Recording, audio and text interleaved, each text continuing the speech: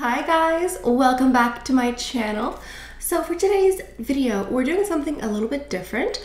We're going to do a skincare tutorial. So recently I bought some skincare items from Chantecaille and I have a bunch of samples. So I thought I would just do a tutorial and review at the same time.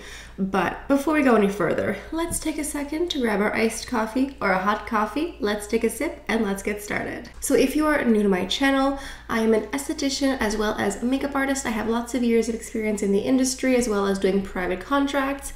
I have now started an online beauty consulting service where you can make an appointment with me one-on-one, -on -one, have a virtual talk or consultation and it's private and it's just you and me.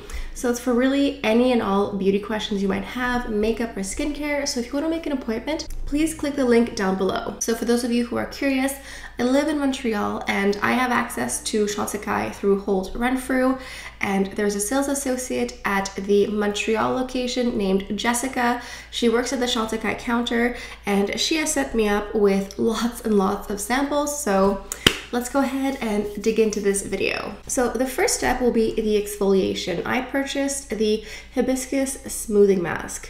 This is just like a white texture. It looks like a thick cream.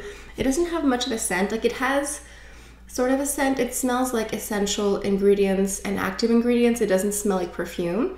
So what I like to do is I have a couple of these little makeup brushes. You know, sometimes you get makeup brushes in a gift with purchase and you don't know what to do with them, I keep them for skincare. So I went ahead and cleaned this from top to bottom here.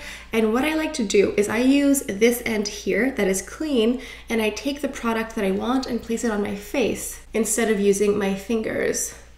So I'm just going to go in here.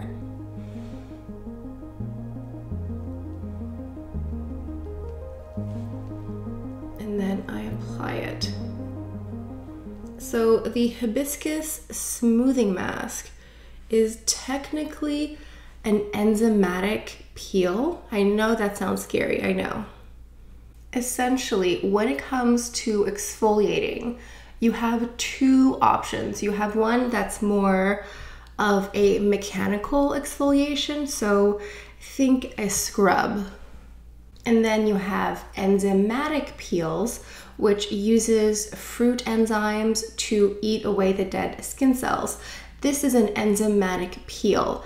So this is a type of exfoliator that you leave on the skin and then rinse off. So you don't have to massage, you don't have to manipulate any product. Just leaving this on your skin will eat away all the dead skin cells. Let's not forget the neck and the mask acne. Okay, so this you leave on your skin for three to 10 minutes. There is this like really slight tingling sensation.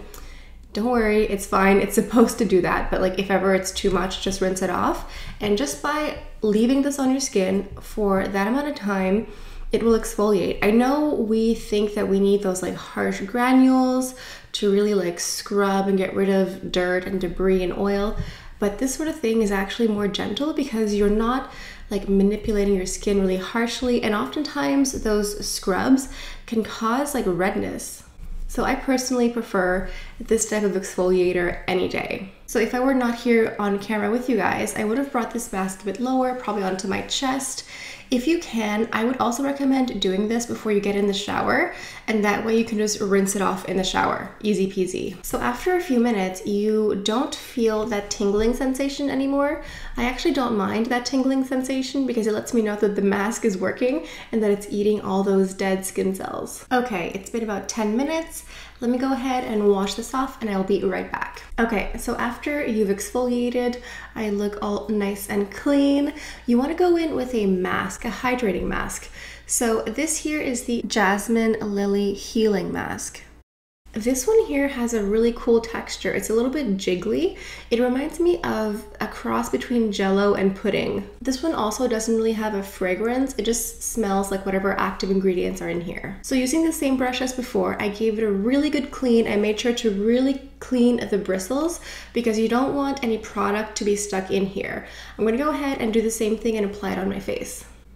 And I like to leave a pretty generous layer on my face. I don't know, I just feel like my skin absorbs what it needs and leaves the rest behind. So you essentially want to apply this everywhere you put your exfoliator. The theory is you exfoliate, you get rid of the dead skin cells, and then you hydrate. It doesn't really matter what type of mask you use, if it's a hydrating mask, a lifting mask, whatever. The mask goes over top where you exfoliated. Now, this one here you leave on your skin for 10 to 20 minutes. You can also sleep with it. I've done this. When I sleep with it, I put on less than this. I kind of feel like I'm having a Mrs. Doubtfire moment right now with this face mask. Miss Helen?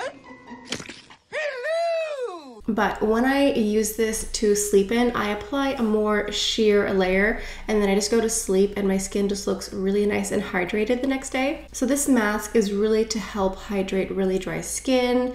And I swear that when I rinse off the mask, my skin looks less dull and brighter. So that's always a good sign. So one thing I noticed when applying these masks with a brush, I feel like you get a smoother application if you apply it in the same direction.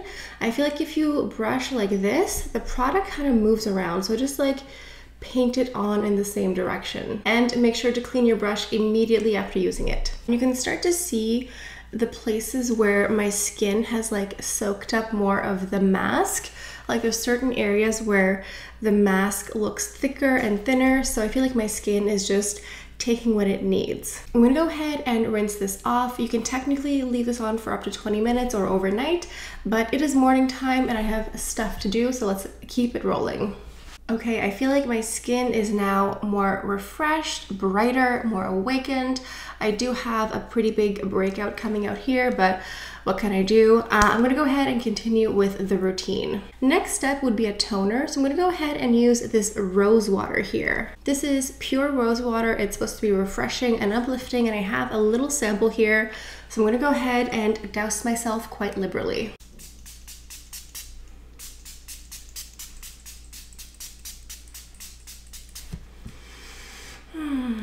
If you are a fan of the Caudalie Beauty Elixir, this is sort of along that same line, except this one here is just rose water. I have a little few drops left.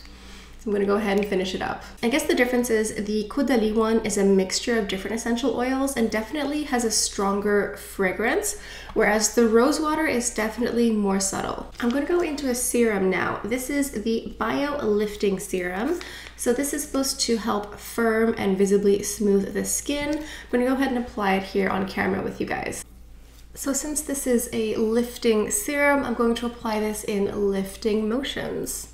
And as you apply it, it starts to feel a little bit sticky and tacky on the skin. So I'm not sure if I'm seeing like a visible lift and smoothing of my features.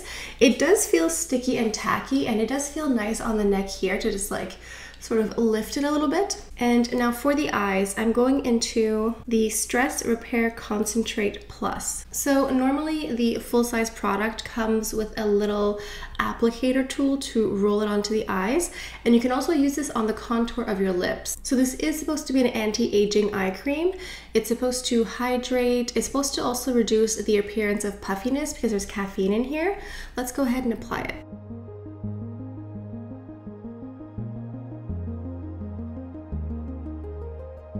So I do feel like it does brighten up the under eye area here. I'm not like 10 years younger by any means, but it does feel really nice because it is pretty hydrating. And I don't know, maybe if you continued using it night after night for a few months, maybe you would see a big difference. Like I'm not wowed, but I still like the product. I think it makes a big difference if you have the full size product and you have the little metal spatula. It's not really a spatula, it's like a metal tool that you help massage it. I feel like that would feel really relaxing. Okay, let's go ahead and apply some moisturizer. I am using the Rose de Mai cream. This is a really lovely gel cream. It's not a very thick cream, it's definitely more in the gel category and it has a really nice rose scent. This is supposed to help soften and hydrate your skin and I think it's also supposed to help with redness as well. I actually really like this cream. I didn't think I would like such a fluid gel texture, but it's really nice. And I feel like this moisturizer also helps your skin look quite luminous. So now for the final step, the sunscreen. So this is the Ultra Sun Protection Sunscreen Broad Spectrum SPF 45. It's also technically a primer. So this here has such a lovely texture. As you can see, it's literally just like melting into my skin.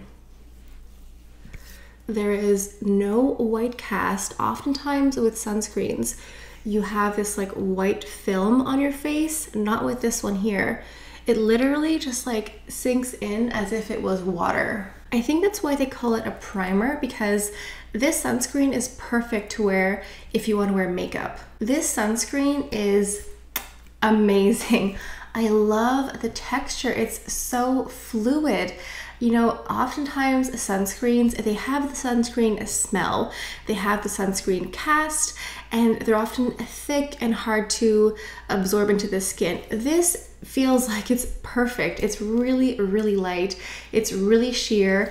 I do wish there was a higher SPF. This is the only SPF for the brand, so I really do wish there was a higher SPF available, but I think this is a beautiful sunscreen. If you like to wear makeup every day and you want a sunscreen to wear underneath it, I think this one is perfect.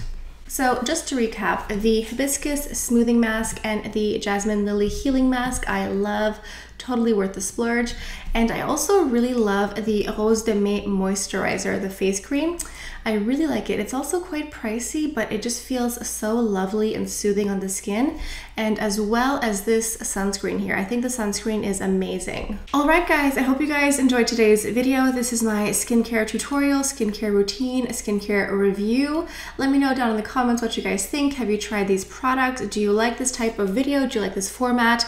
Where I just sit here and do my skincare and let you know my thoughts as I go. Please feel free to sound off down below. If you are new to my channel, I talk about nothing but luxury skincare, luxury makeup. I do lots of reviews and tutorials, and I also create several different looks with the same products. So if that sounds interesting, please make sure to like, comment, and also subscribe. So I think this is all I have for you guys for today. So thank you all so much for stopping by. I hope you have a beautiful day, and I'll see you guys next time. Bye.